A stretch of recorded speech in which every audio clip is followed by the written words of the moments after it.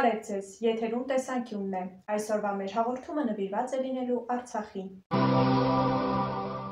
Հայաստանի պատմության շուրջ 3000 տարիների ընթացքում Արցախի բնակչության ճշշող մեծամասնությունը եղել են հայեր։ Անկամ հայկական անկախ պետականության անկման տարիներին Արցախը ինքնավար է եղել եւ ինստիտուցիոնալ առումով հայկական է մնացել։ Սակայն դարերի վեր հայերով բնակեցված այս տարածքը այսօր գրեթե ամբողջությամբ հայաթափվել է, իսկ ադրբեջանական իշխանությունները հավանաբար շուտով կոչնչացնեն հայկական մշակութային արժեքներն ու կոթողները։ Ձեզ ենք ներկայացնում մի քանի փաստեր Արցախում գտնվող հուշարձանների եւ կոթողների մասին։ Ստեփանակերտի կենտրոնական վերածննդի հրապարակը ուրվագծում են մի քանի կարտագույն շենքեր, որոնցից մեկը Արցախի ազգային ժողովի շենքը թվում է թե շինարարության փուլում է ու ոչ մի կերպ չի ավարտվում։ Իրականում այս շենքի գմբեթը նախապես կառուցվել է հենց այս նախագծով՝ ներսում դատարկ տարածությամբ։ Ճարտարապետների միտքը գմբեթի կիսատությունը Արցախի կարգավիճակի անորոշության խորհրդանիշն էր։ Ստեփանակերտում ասում էին՝ հենց Արցախի կարգավիճակը պարզվի, գմբեթը կլծվի։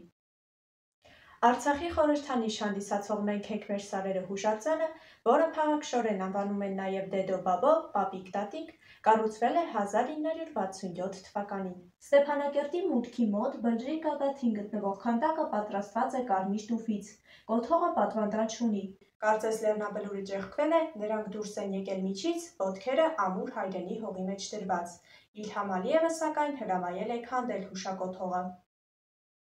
Դադիվանքը Արցախի ամենագեղեցիկ եկեղեցիներից մեկն է։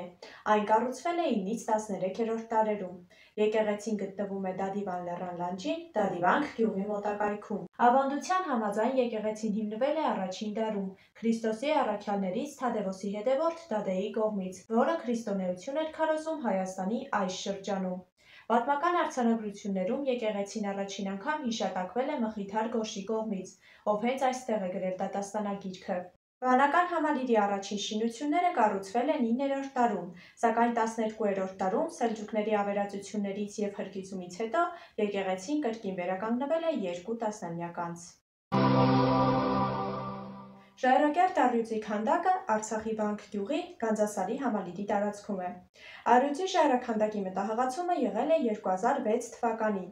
Այն խորհրդանշում է արցախցիների վեհությունը, հպարտությունը եւ կամքի ուժը։ Քարակերտ այս հրաշքի յուրաքանչյուր ծալկ այնքան իրական է թվում, որ այցելուների մոտ տպավորություն է, թե իսկական առյուծը քարացել եւ ժայռաքանդակ է դարձել։ Նկարիչը Արամ Ավաքյանն է, ով քանդակի վրա սկսել է աշխատել 2007 թվականից։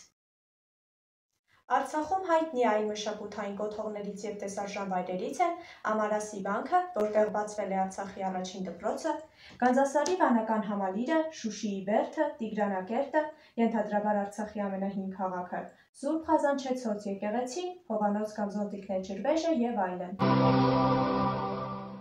Այսօրվա համար նախատեսել էինք այսքանը, կհանդիպենք հաջորդ շաբաթ, ստեսություն։